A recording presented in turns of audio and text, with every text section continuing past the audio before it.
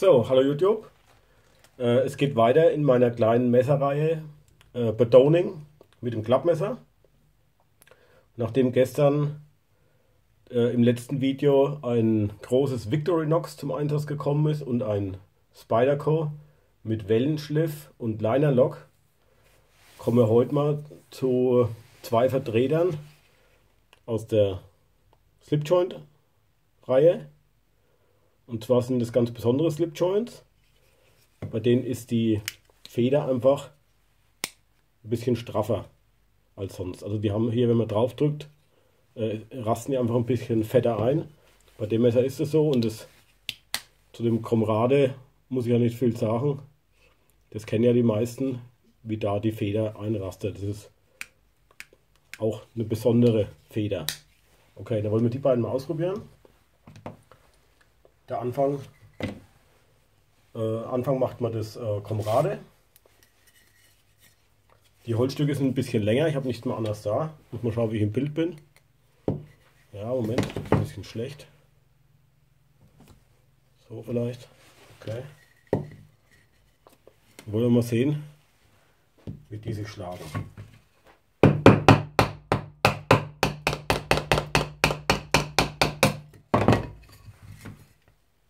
Also es geht, aber gestern ging es besser.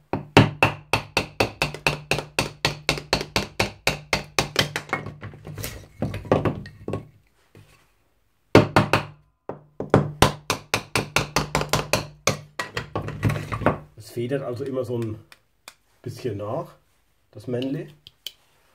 Wollen wir mal das andere ausprobieren. Da ist die Klinge ein bisschen kürzer. Mal sehen, wie es geht.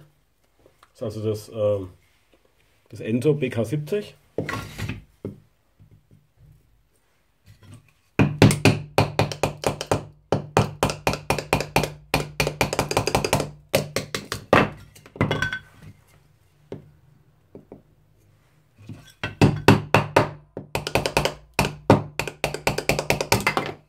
Okay. Also mehr wollen wir den jetzt mal nicht zumuten. Wir haben kein Klingenspiel, nichts absolut kein Problem.